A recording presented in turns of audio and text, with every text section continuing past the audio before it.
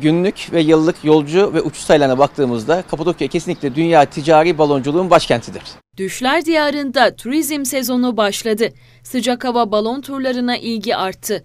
Öyle ki balon turuna katılmak isteyen turistlerden yer bulmakta sorun yaşanmaması için ön rezervasyon yaptırmaları isteniyor. Sınırlı yer kapasitesinden do- dolayı yerli ve yabancı misafirlerimize tavsiyemiz nasıl otel rezervasyonlarını Kapadokya'ya gelmeden önce planlıyorlarsa balon rezervasyonlarını da lütfen son dakikaya bırakmasınlar. Sıcak hava balonları Nevşehir'in Göreme beldesiyle Çavuşin köyü çevresinde gökyüzüne yükseliyor.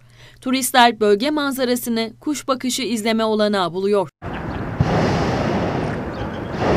Bölge doğal, tarihi ve kültürel değerleriyle UNESCO Dünya Kültür Mirası listesinde yer alıyor.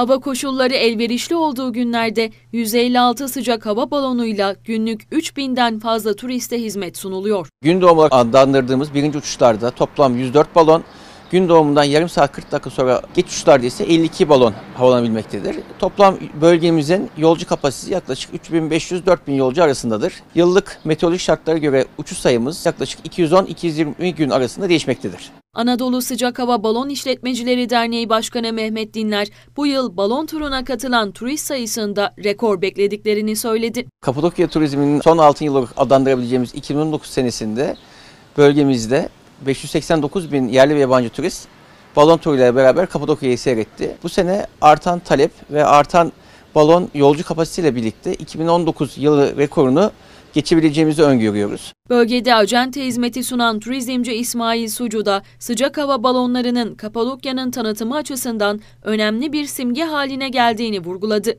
Turistlere ön rezervasyon çağrısı yaptı. Seyahat ajantaları kanalıyla bir an önce otel rezervasyonlarına uygun olan tarihte uçuşlarıyla ilgili olarak da ön rezervasyonlarını yapmaları onların için çok çok faydalı olacağına inanıyorum. Çünkü gerçekten aşırı bir yoğunluk var.